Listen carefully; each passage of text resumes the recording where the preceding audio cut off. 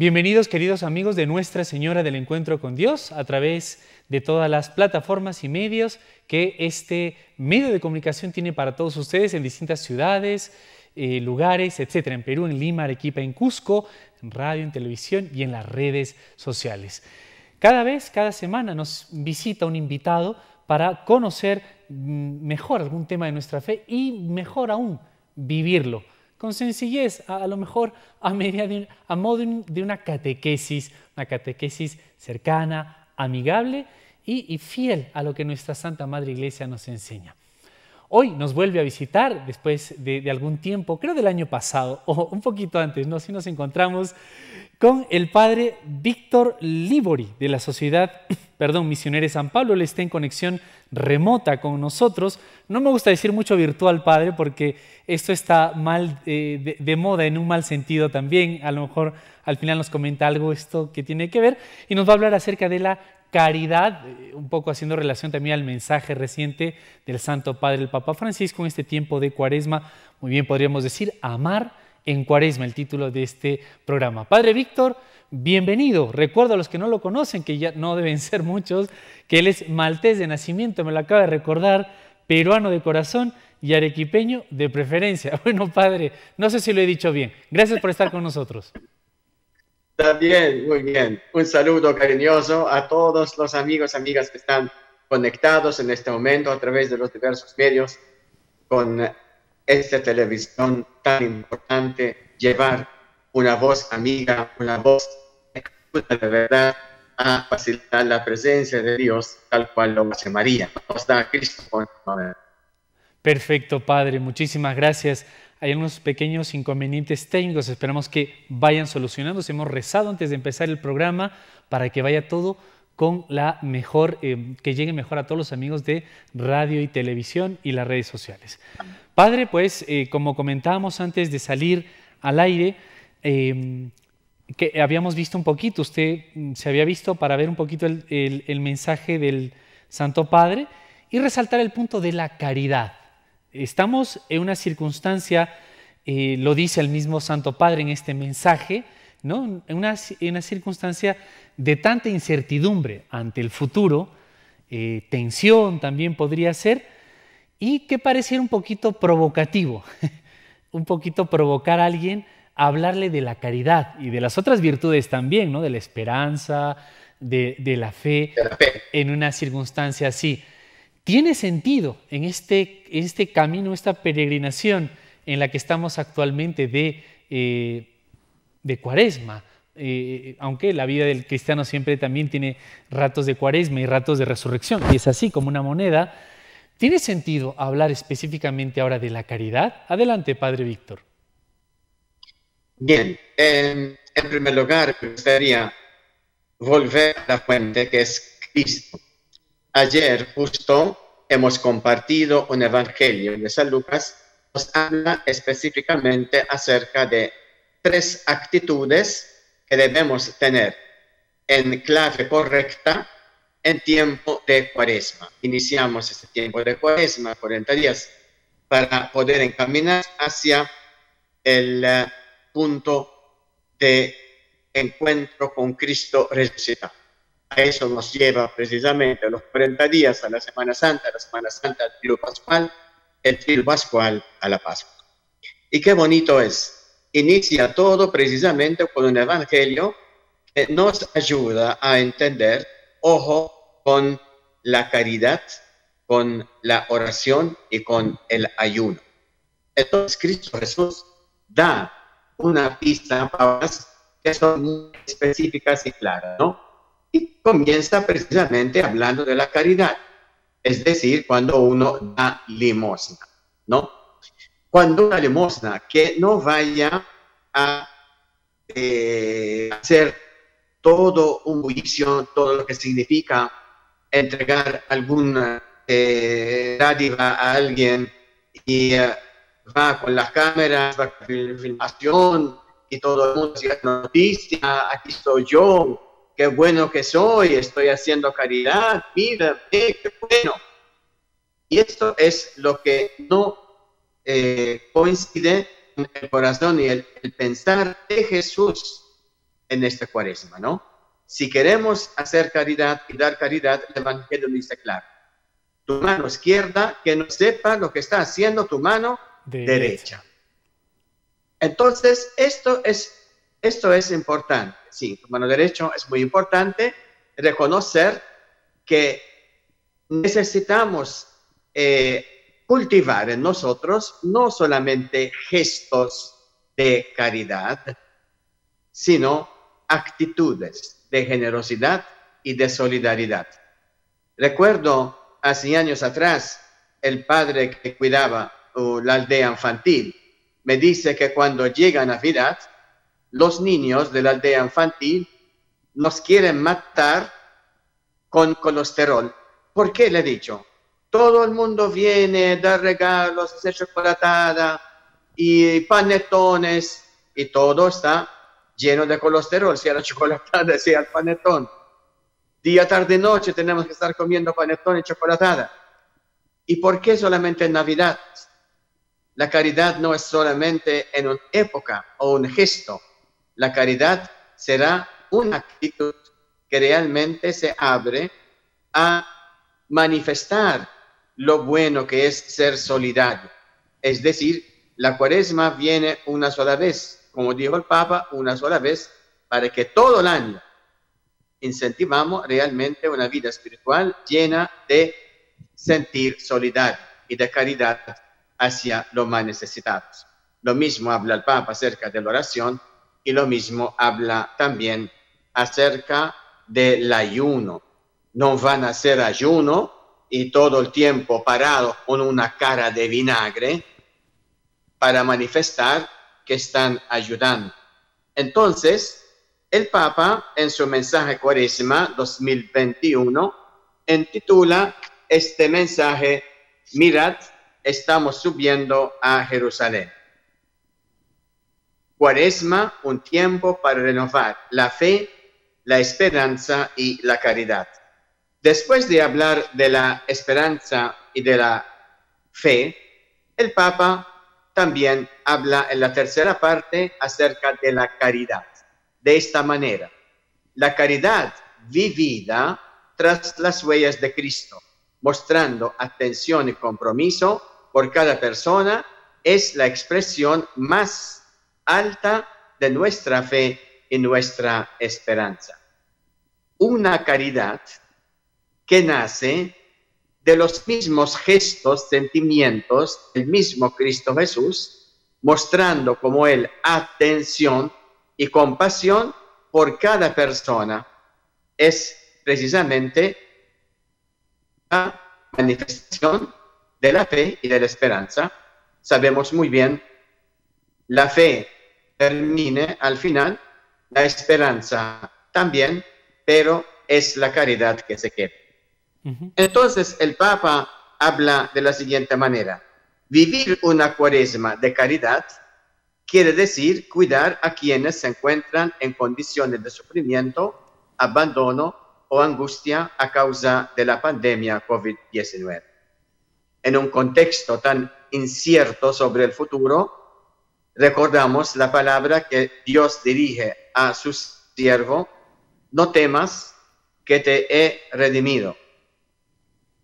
Ofrezcamos con nuestra caridad una palabra de confianza para que el otro siente que Dios lo ama como a un hijo. Qué bonitas palabras de exhortación de Isaías 43, versículo 1, ¿no? no temas. No temas es la palabra que se repite porque Él nos ha redimido con su preciosísima sangre y esto es lo que nosotros necesitamos especialmente en este tiempo de pandemia, transmitir a los demás. Fuera todo temor, transmitir esperanza, consuelo, consolar y también fortalecer con ánimo que viene desde esta presencia viva, real y verdadera de Cristo resucitado en nuestros corazones. Padre Víctor, y con este, esta lectura bella que usted ha hecho de este mensaje, de este bello mensaje que el Santo Padre nos ha hecho, em, en la experiencia diaria ya de estos, todos estos meses que usted también en la pastoral, en la ciudad donde se encuentra, en Lima actualmente, las labores que tiene, em, es, es fácil, es posible. ¿Cuál es la realidad de hablar a la gente de a pie, a la gente, a los fieles, a los hermanos que están en hospitales a lo mejor, de que tengan fe, de que tengan caridad? Eh, en una parte de este mensaje que usted también tiene allí, eh, el Santo Padre recordaba que eh, el ayuno, la caridad de la esperanza, son mm, muestras, expresión de nuestra conversión, de nuestra conversión. Y la conversión es algo esencial durante la cuaresma. Es, es así también si nosotros queremos vivir una auténtica conversión tiene que expresarse en concreto, por ejemplo, en lo que queremos centrarnos en la caridad y cómo está siendo ese encuentro a uno, a lo mejor que usted en alguna circunstancia le ha tocado ver, telefonear, escuchar, ver a algún hermano, hermana que eh, hasta está contagiado, ha perdido el trabajo, el miedo, etc. Y yo le vengo a hablar de caridad. Pareciera que le estoy hablando de chino o de eh, trigonometría quizá y y te puede hasta un poquito, como el Papa dice, puede ser un poco, este, eh, le puede sorprender, ¿verdad? De, hablarle de este tipo de cosas. Bien, eh, es, la evangelización siempre es un reto en una sociedad que está dominada por el secularismo, por una mentalidad muy materialista, pensando en eh, lo que es tan pasajero y valorándolo, eh, valorando muchas veces y matinar a lo que es lo más esencial, que es la salvación, la vida plena. Esto es la verdadera alegría. Pero sí le cuento, en primer lugar, cuando alguien está llorando porque su hija está enferma y está muy mal en el hospital, es como yo tengo un dolor en mi muela. Y la primera cosa que estoy pensando ver en este momento no es ni enseñarme cosas ni hablarme de otra cosa. La primera cosa que estoy viendo en este momento es un dentista para aliviarme el dolor. Entonces, es importante la forma como uno llega en primer lugar, a acompañar el dolor de estas personas. No es primera vez, no tengo vergüenza de decirlo, que yo en situaciones que he vivido de personas que les toca un sufrimiento tan fuerte, la primera cosa que hago, comienzo a llorar con la persona. Sí, lo hice, y no una vez. ¿Por qué? porque hay gente que realmente está No solamente aquel joven que vino con su hija desde la selva, ¿no? Que lamentablemente pensó que le han hecho alguna brujería y estaba en el hospital y hablándolo de la fe directamente era demasiado crudo para estar hablando de no tengas miedo. Entonces, la primera cosa es acompañarlo en forma tan empática de poder compartir con él las lágrimas. Realmente se conmueve desde dentro uno y siente lo que está sintiendo la otra persona. Y cuando él se da cuenta que a pesar que no lo conozco, a pesar que está viviendo una situación tan difícil, eh, hay alguien que lo entiende y comparte en este momento el dolor, ya es una alivio. No estás solo. Y después, poco a poco, comienza uno a transmitir las palabras de esperanza, las palabras de em, fe en Cristo Jesús vivo y actuando hoy. Realmente son cosas que, no sé, si de repente después de este programa te transmito los mensajes que recibo. Este señor de la selva realmente ha manifestado, al final me dice, ha sido un milagro. Qué, lindo. Qué, qué bello. Sentir esto después de una experiencia de semanas, meses, ser solidario también, Así es. porque alguien de la selva, perdido en Lima, no tiene parientes, necesita apoyo. Claro. Y siente que la misericordia de Dios es precisamente no tanto afanado al dinero, pero cuando el dinero llega como complemento del amor de Dios, es realmente una bendición. Otro que tenía Padre, tumor. Padre Víctor, ¿por qué me ha dej- nos ha dejado a todos con, con la, con, la, con, el, con el azúcar en, en los labios? Nos toca la primera pausa y nos cuenta este otro, este otro caso que nos puede ayudar mucho a saber lo que es la auténtica caridad, el compadecer, que a veces lo entendemos mal, que es padecer con el otro también, el hacerse uno que yo me imaginaba mucho a Cristo cuando tomó nuestra naturaleza humana para acompañarnos. Le invito a la primera pausa, Padre Víctor Líboro y a los amigos de Nuestra Señora el Encuentro también. Vámonos a esta primera pausa acerca de este tema, amar en cuaresma.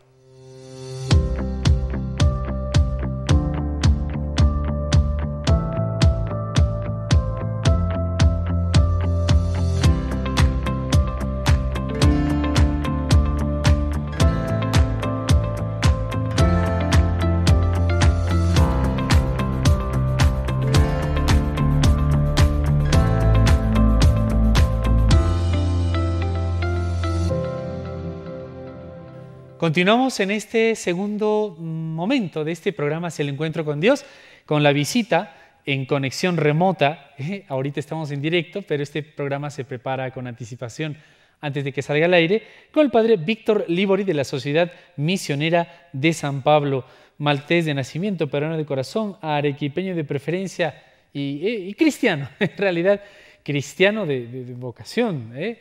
porque nos comentaba un poco eh, no solo de lo que nos cuesta mucho a, la mayoría, probablemente nosotros, Padre Víctor, podemos hablar muy bien de la caridad y en cuaresma más y de la conversión, pero como le gusta decir al Papa, con estos gestos que tiene realmente providenciales, el qué difícil es mancharnos las manos, ¿eh?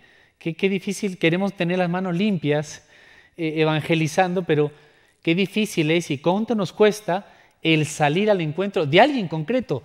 No solucionaré el mal del mundo, ni de Lima, ni de Arequipa, ni de Cusco, ni de, Latinoamérica, los miles de millones que tienen problemas. Algo así decía la Madre Teresa de Calcuta cuando le preguntaban, ¿pero usted cree que va a acabar con la pobreza de Calcuta? Eh, son, bien, yo no haré eso, pero puedo hacer algo por una persona y puedo empezar a hacerlo por alguien concreto. Y si todos los cristianos hiciéramos eso, imagínense, los bautizados, cuánto bien haría. Y usted nos comentaba el ejemplo de esta persona en la selva que pues Dios permitió que se encontrara con la misericordia a través de usted e incluso tenía otro ejemplo que nos dejó con, la miel en los labios antes de ir a la pausa para seguir entrando poquito a compartir esta parte de la caridad del mensaje del Papa para Cuaresma. Adelante, Padre Víctor. Bien, justo eh, tengo una experiencia con un joven que se llama Bernardo y este Bernardo tenía problema porque le salió como un tumor en su cabeza. Me llaman un domingo en la tarde, le he dicho ya, ahora tengo que transmitir Eucaristías. Hay mucha gente también, otra forma de pastoral es consolar la gente de sus hogares. Mucha gente pide, porque ahorita mismo en la mañana, mi jovencito sobrino, jóvenes ahorita también, está entubado aquí en el hospital, Padre, ora por él. Continuamente tenemos este apoyo espiritual con tantas personas que realmente están buscando la presencia de Dios en este momento, ¿no? Pensé que todo terminó, no pude hacer la unción de los enfermos a Bernardo, pero sí, de nuevo me llaman eh, otra vez en la tarde, Padre, por favor, vaya porque la operación es a- hoy día a las 10 de la noche y están solicitando la unción de los enfermos. Le he dicho, lamentablemente no puedo. Tengo misas que están, eh, que tengo que celebrar porque he hecho un acuerdo antes con las personas. Llega un momento en el cual había una misa en que la persona dice, que no necesito más esta Eucaristía, ya ok. La persona siguiente le he dicho, ¿puedo iniciar media hora tarde? Sí. Mire cómo cuando Dios quiere las cosas como usted. Qué bonito. Fui de inmediato, tomé un taxi, llegué, jovencito realmente, en plena juventud, y eh, le estoy diciendo, Bernardo, vamos a orar, ¿tú crees en Dios? Sí, creo. Padre nuestro que estás en el cielo, otra vez se pierde. Cuando le habló de Dios, comenzó a rezar el Padre nuestro. Después le dicho, ¿crees que Dios te puede sanar en este momento? Vamos a orar con esta fe, le he dicho. Y eh, oramos juntos, oramos, le administré la unción de los enfermos, como estaba entre consciente, no consciente, no puedo confesar, pero sí, pues eh, sentí que realmente la presencia de Dios tan fuerte este momento. Y eh, la enfermera luego vino a decirme, padre, es un caso tan difícil, pero confiamos, le he dicho, para Dios no hay nada que sea imposible. Sí, padre, gracias por venir. Terminé el día siguiente, llamé a su mamá, padre, sucedió el milagro porque realmente salió muy bien mi hijo, ya está establecido, ya lo sacaron de UCI, acaban de estar en UCI, ya lo sacaron de ahí, está en piso, ya está muy bien. Y realizando de verdad esta comunicación con ellos, volví a llamar el día siguiente, a ah, padre, mañana va a salir del hospital. ¿Tanto? Eso. Eso es quien cree de verdad, ¿no? Qué bonito es manifestar a todos que Jesús está vivo y está actuando. Claro. Y donde está creciendo la miseria, más crece la misericordia. Es lo que en Pascua se lee, ¿no? En la noche de Pascua, donde sobreabundó el pecado, donde abundó el pecado, sobreabundó la gracia. Padre Víctor, un poco se ha adelantado una de las preguntas que yo tenía por allí pensadas, apuntadas. Eh, eh, también podemos eh, frustrarnos o limitarnos a pensar que la caridad únicamente se da materialmente, que es una gran parte, los mismos santos padres de la iglesia, recuerdo a San, Juan Crisóstomo sobre todo, cómo mm, fustigaba, exigía que uno no podía tener incluso dos vestidos, el otro es del pobre, el otro es del hermano, etc. Muy, muy exigente en los primeros tiempos de la iglesia. Pero en estos tiempos que también se, debe hacer así, eh, con el Espíritu Santo, por supuesto, pero también podemos pensar que si yo no tengo, eh, mm, eh, también le estoy pasando muy mal económicamente, no tengo, tengo recursos muy pocos, austeros, no puedo hacer caridad.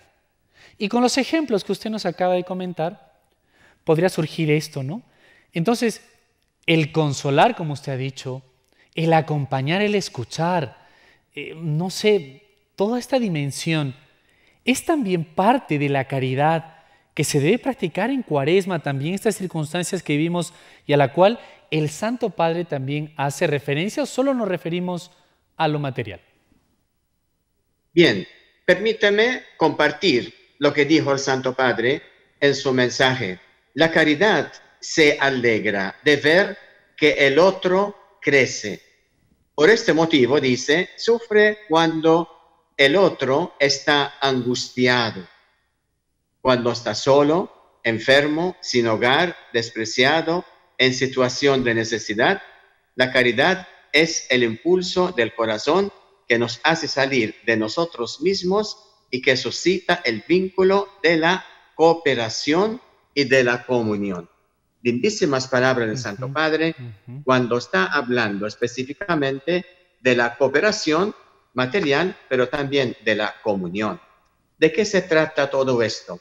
Precisamente cuando desde esta obra misional pontificias, donde aún estoy hasta este momento, qué bonito es, qué bonito es ver em, la cooperación misionera, ver la gente como entiende que cuando hablamos del domo no estamos hablando de monedas y billetes, estamos hablando de la convivencia solidaria que nace del mismo hecho de que la misión es como la Eucaristía, el pedazo de la Eucaristía, de una iglesia pobre, de una iglesia que realmente está necesitada, está allí la presencia.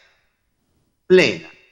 Y por eso la iglesia debe sentirse feliz, unida, coordinando esta solidaridad espiritual que se traduce, se traduce realmente en apoyo integral. Cristo Jesús, vemos muchas veces, ¿no? Tus pecados son perdonados. Pero ¿quién importa si el pecado está perdonado o no? Tus pecados son perdonados. ¿Quién puede perdonar si no es Dios? Es verdad. Entonces, entiendan bien que Dios está entre ustedes.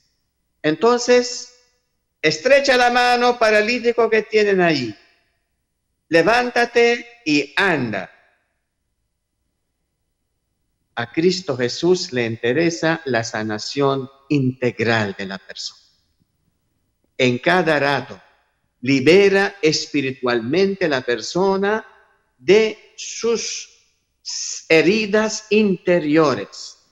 Y por ende, cuando hacemos oración de sanación, la primera cosa que pedimos no sana la herida de fulano, restaura las células debilidades en el cuerpo de Mengano porque está mal, porque está con COVID. Primero es la liberación espiritual de todas las heridas espirituales. Y esto es necesario. Cuando habla aquí el Papa, ¿a quién se siente solo? ¿Quién se siente solo? ¿Cómo vas a manifestar caridad con una persona sola? Dándole cosas o ayudándole, llamándole, decirle que no está solo, transmitiéndole fuerza, ánimo, consolar, orar. Y esto es lo que necesitamos entender como Cristo Jesús. Queremos ser discípulos de Jesús. La persona no nos interesa solamente en su dimensión material, física, corporal, sino en su realidad integral. Y la caridad es precisamente la actitud de Cristo Jesús de no quedarse indiferente ante el sufrimiento humano. Se conmovía desde las entrañas, dice en griego el verbo precisamente, desde las entrañas se conmueve Cristo Jesús cuando ve el dolor. Ante el leproso, ante la gente que tiene hambre, no se siente tranquilo. Los discípulos de los apóstoles no les importa ni un comino, pero Jesús no. Y cuando Jesús les dice, vamos a darle comer, ¿qué, vamos a darle comer? Acá no hay nada, mándeles de una vez para descansar nosotros. Mucha fatiga con esta gente. Cristo Jesús no. Es decir, queremos ser como Cristo, pues es bonito ver la persona en su integridad, especialmente en este tiempo de pandemia. Qué bonito es ver que el apoyo material llega como dimensión precisamente de interés a la persona en su dimensión real, verdadera, completa. Y esto es lo que nos motiva a, en nombre de Cristo Jesús, seguir ayudando, no haciendo un gesto filantrópico o meramente social, sino el motivo, el motivo, la motivación de todo esto es ver a Cristo en el hermano. Padre Víctor, ya nos están avisando que viene la segunda pausa. Qué rápido pasa escuchando estas cosas tan bonitas y tan importantes. Eh, indirectamente, en estos minutitos, quizá solo para mencionarlo, porque sería otro tema amplio, Padre Víctor, eh, se nos está queriendo en esta circunstancia que vivimos imponer de pánico, em, ya sea directa o indirectamente, como un, individualismo. Como sálvate tú en tu casita, eh, no salgas, que tiene una parte muy, muy prudente, es verdad, que no, no podemos estar eh, como si nada pasara, es verdad, es verdad. Pero es como que se incentiva mucho el, el sal, eh, yo, yo solito en mi casita me salvo, me cuido e incluso, no lo sé, indirectamente, qué difícil es acercarse a alguien, preguntarle si necesita algo, probablemente si alguien está perdido, si alguien está llorando, está solo, etcétera, de distintos modos, Padre Víctor, y ni hablar de em, realmente esta prohibición, además fuera de sus competencias, pero hecha al final, de, la prohibición de lugares de oración y las santas misas, ¿no? que es que, que necesitamos también el pan, el pan del cielo. ¿Qué podemos decir, Padre? ¿Te, podríamos nosotros, no sería un poco mm, forzar a, nuestros hermanos a decirles a que salgan a los que sufren, enfermos, sin hogar, que ha puesto el Padre allí en su carta, a, construir una civilización del amor. No estamos hablando aquí de utopías y cosas ingenuas cuando no perjudiciales. Bien, mire, eh, en primer lugar, eh, el Papa Francisco no solamente no quedarnos encerrados, claustrados, mirándonos y un poco narcisismo, pensando primero en el yo, segundo en yo. El Papa hasta está hablando a todos los países para que este problema tampoco podemos enfrentarlo individualmente como un país individual, independiente del otro país vecino que está a su lado. Y por ende, y es cierto, es decir, es inútil decir que el gobierno del Perú decide que ya no va a hacer que vayan eh, aviones desde el Perú hacia Europa. Y de repente el gobierno de Brasil, México, Estados Unidos siguen teniendo estos vuelos. Pero sí, el Perú tiene conexión interna entre el continente y puede traer desde Brasil o desde Estados Unidos o desde Panamá o desde México otros que están viajando a, nuestro país. Entonces, ¿qué sentido tiene interrumpir los eh, vuelos trans eh, transcontinental, eh, mientras eh, otros países están abiertos. Es decir, hay ciertas decisiones que es importante que tomen juntos todos los países para proteger y crear políticas y proteger la población en forma mancomunada. Y como este ejemplo, hay muchas otras cosas más que están afectando ¿no? Por ejemplo, usted mismo ha mencionado, ¿no? Desde Brasil están entrando muchos, este, no, no, muchos de, Santo Domingo. ¿Por qué están entrando? ¿Por qué desde Santo Domingo se encuentran aquí? ¿Por qué están entrando a nuestro país? Es decir, son, son problemas, entre comillas, son realidades, como por decirles mejor, eh, que tocan no solamente un país, tocan la reflexión y la coordinación de países para que trabajen juntos. Claro, padre, padre Víctor, y además muestra una herida como sociedad, ¿no? Como, como nos está pasando como hombre. Le tengo que invitar ya a la pausa que le he dicho y para que continuemos hablando de esto mismo en torno a lo que involucra la caridad en la parte social que el Papa mismo ha mencionado en este mensaje de Cuaresma. La última pausa del programa, Padre Víctor, por favor, y a los amigos de NS también. Enseguida continuamos acerca de amar en Cuaresma.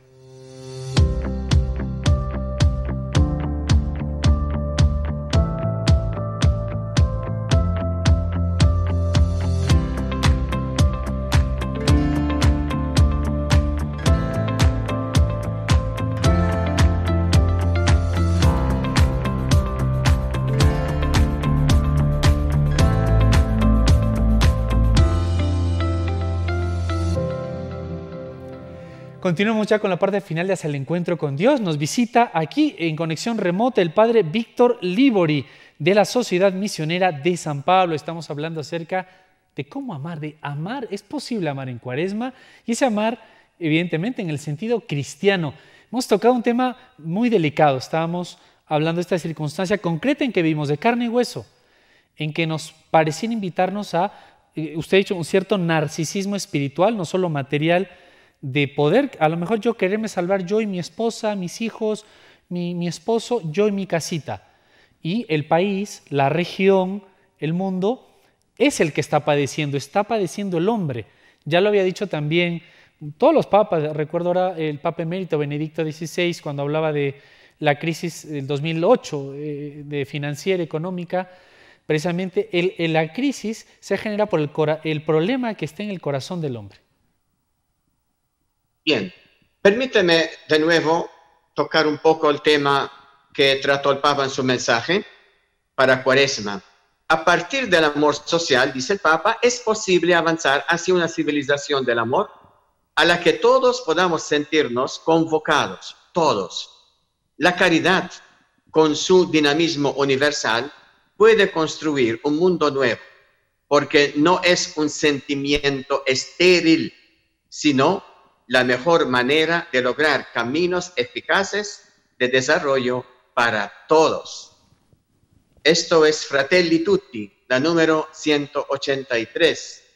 Y qué bonito que está el Papa estimulando, moviendo a todos para que abran los ojos y esta realidad, estas dificultades y crisis, lo vivimos enfrentándolo juntos, haciendo juntos una, una, eh, situación en que tomamos decisiones juntos y enfrentarlo juntos sería menos complicado. Y esto es la gran verdad, es decir, viviendo la caridad en esta situación de COVID-19, de la pandemia, en esta segunda ola.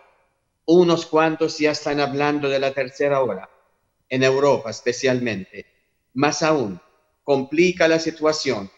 Las situaciones climáticas en diferentes lugares, realmente estamos, pues, eh, frente a una crisis económica que complica más aún la situación y necesitamos en todo esto hoy, más que nunca, manifestar. Así es, Padre Víctor. Hemos tenido un pequeña, una pequeña dificultad allí con el audio. Perfecto. Adelante, sí. En estas circunstancias que vimos, necesitamos manifestar juntos, como usted bien decía, eh, y le seguimos escuchando, Padre Víctor, Toda esta circunstancia que vimos, reafirmarnos en qué. Adelante, Padre Víctor. Bien, precisamente reafirmarnos en que la fe nos ayuda a entender y vivir la Eucaristía de tal manera que quien tiene, hoy más que nunca, es importante, toma conciencia y se da cuenta que es hora de compartir solidaridad. Es hora de sentirnos sensibles hoy más que nunca ante la necesidad urgente de tantos pueblos que están sufriendo hambre. Estamos hablando del cinturón periférico de esta ciudad, donde hay gente que realmente está viviendo situación muy, muy difícil, donde hay personas que económicamente ya se sienten recontra limitados y están enfrentando situaciones eh, luchando entre vida y muerte. Es decir, de repente, como se dice muchos, no nos va a matar la pandemia, pero nos va a matar, sí, el hambre. Así es. Y esto sí, es cruel. Así es. Y precisamente, Padre, de todo este, mm, de este panorama sombrío, eh, incierto, como el mismo Santo Padre dice, podemos pensar, como él mismo ha citado, en construir una civilización del amor, eh, de esta circunstancia, de esta oscuridad, es posible que brille la luz.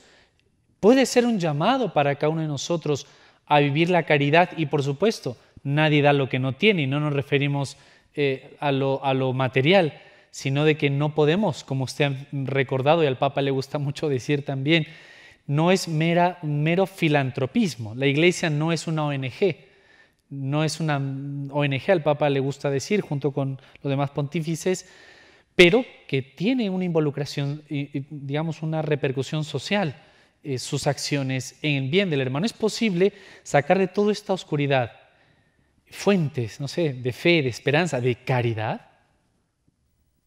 Bien, precisamente, insisto, el eh, pensar la respuesta que dio Madre Teresa de Calcuta yo no puedo de por sí satisfacer o solucionar eh, todo lo que es la solución del problema, todos los pobres en Calcuta, o satisfacer el hambre de toda persona que sufre.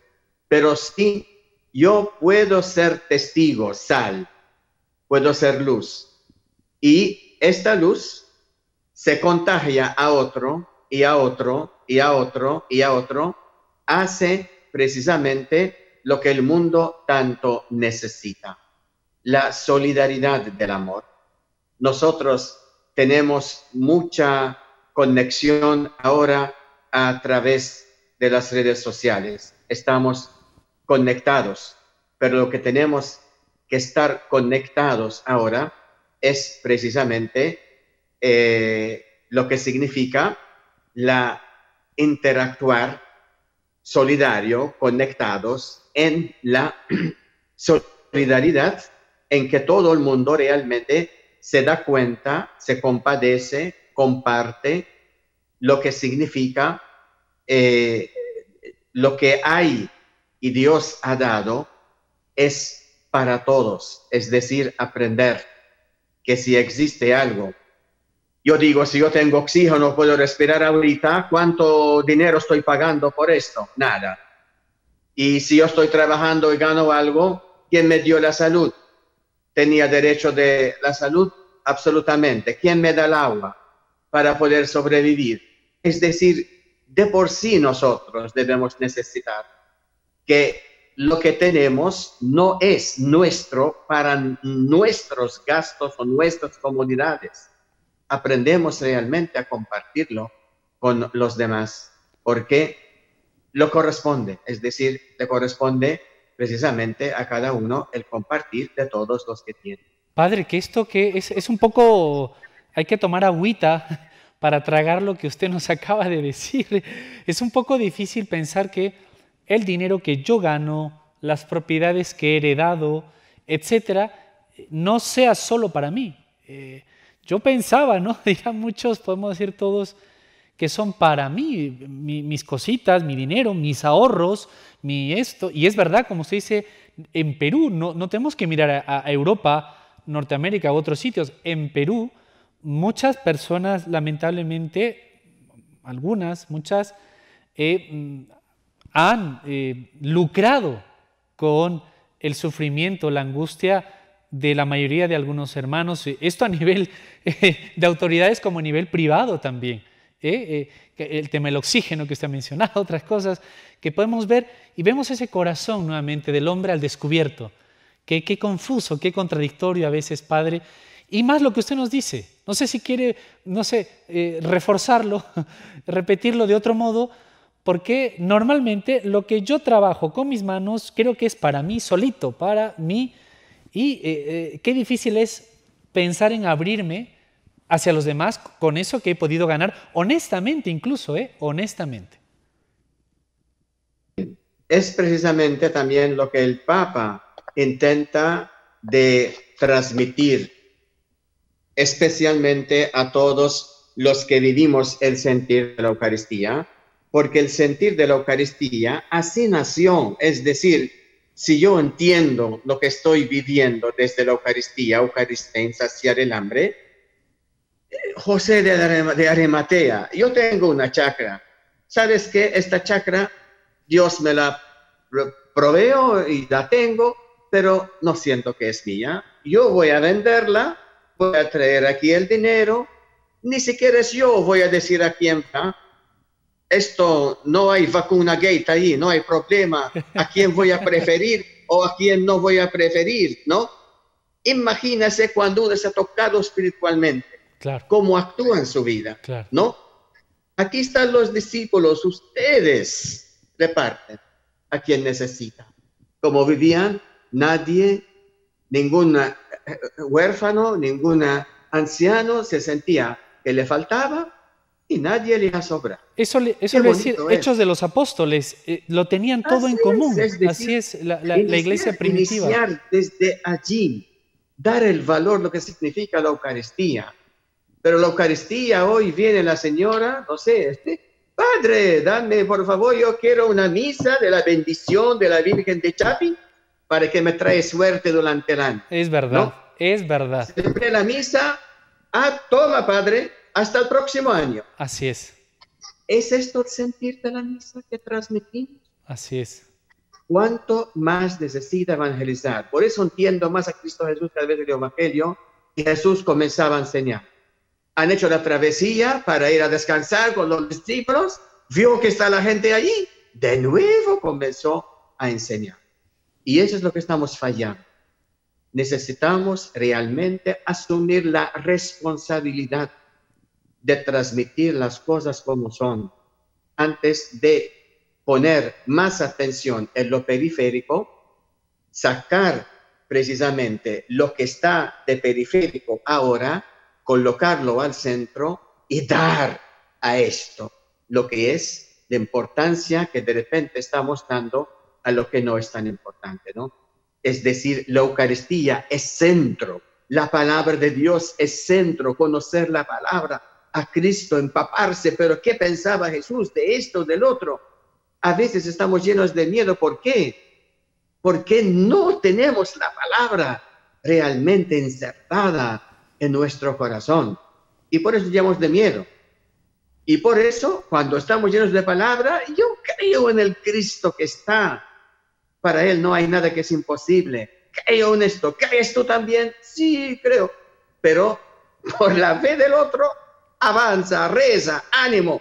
Va a suceder acá un milagro. Y el milagro sucede. Y, y, Padre, para despedirnos, ya nos ha marcado el tiempo. También, no sé, parte la caridad de esa enseñanza que usted mismo ha dicho y ese no teman, yo estoy con ustedes día tras día hasta el fin del mundo. Eh, también hoy la enseñanza eh, de las verdades eternas, Padre. No vamos a vivir aquí 100, 200 años, mil años, con todo el calor o el frío, las cosas que hay aquí, los destapes de todo tipo. Tenemos una patria y a veces mm, cuando no hay quizá esa enseñanza, ese recuerdo, también quizá nos desesperamos aquí porque, y, no, esos los santos, Padre, los mártires, tantos santos anónimos que han vivido dando a los demás y luego ya a la patria eterna. ¿No es una parte también de esta caridad de enseñanza que está faltando y que precisamente por eso también quizá un poquito nos sacudimos un poco cuando se nos habla del cielo, del paraíso o, de lo que no es cielo, por supuesto, que, que como el catecismo enseña y la Biblia, que hay también un castigo eterno. Padre Víctor. Mire, es precisamente eh, nosotros lo que em, somos consagrados, cada bautizado eh, eh, vive la fe y especialmente los consagrados sacerdotes nos corresponden a creer lo que Cristo transmitió y transmitir esta fe. Porque Cristo muchas veces critica a quién? A los de su entorno, gente de poca fe, les dice, ¿no? Y cuando viene un centurión pagano, viene, ni siquiera conocía al Mesías, al Señor desde la fe, le dice, ¿quién soy yo para que entres bajo mi techo? Para mí es suficiente, digas de palabra, y yo estoy convencido que te quiero te cómo Jesús se sorprende. En Israel, en ningún sitio yo he encontrado tanta fe. Esto me gustaría cuando hablamos de la conversión, ahora estamos tiempo de conversión, ¿no? En cuaresma, ay, la conversión es para otro. ¿Por qué no dar un poco la vuelta y pensar en que yo de veras necesito convertirme? Y qué bonito es si este tiempo lo aprovechamos para convertirnos de todo lo que asumimos que está tan correcto y tan bueno en nuestra vida. Y sin embargo, está muy apartado de lo que Cristo Jesús quiere de nosotros. Eso. Porque en, en dos mil años hemos realmente trasquivado todo lo que Cristo ha dicho, puso como centro y hemos hecho al centro lo que nos es, es verdad. Nos, dio la gana. Es verdad, Padre, esto realmente es, es, un gran examen de conciencia. Creer lo que está bueno, examinarlo, es realmente todo un tema. Tenemos que despedirnos, Padre, y quizá, mm, eh, no sé, el Espíritu suscita ahora que nuestro próximo encuentro, si Dios lo permite, podría ser acerca precisamente de, de entender qué es la conversión y si todos necesitamos conversión y, en qué se traduce esa conversión. Eh, si Dios quiere, podría ser el, tema de nuestro próximo encuentro. Y Padre, para este tema de la caridad, qué mejor que lo que nos ha dicho, que es para despertar todos, a, todos nos caerá algo. Eh, le damos las gracias por estar con, con, nosotros compartiendo esto para todos los amigos en radio, televisión, redes sociales, que les va a hacer mucho bien. Y despedirnos, Padre, con la bendición para todo el equipo y los amigos que nos escuchan y nos ven, Padre Víctor. Bien, agradecemos a Dios por este encuentro facilitado gracias a la Virgen María, que supo bien permitir el Espíritu Santo actuar en su vida. Te pedimos, María Santísima, que esta palabra no llegue solamente a los oídos de las personas, ni tanto a los ojos, sino que llegue al corazón, para que en este cuaresma entendemos lo que significa el centro de todo nuestro seguimiento a Cristo Jesús es el amor. El amor a Dios que se traduce en amor al prójimo. Ayúdanos a entender ah. que está necesitado. Amén. Así sea, Padre Víctor. Hay un problemita ahí con el audio final, pero se entiende muy bien esa bella oración final. Padre Víctor, muchísimas gracias por estar con nosotros. Le esperamos, si Dios quiere, el próximo encuentro y a los amigos también de Nuestra Señora del Encuentro con Dios. Hasta pronto, sigan con nuestra señal, nuestra programación, que precisamente promueve el encuentro con Dios para el encuentro con el hermano. Hasta pronto.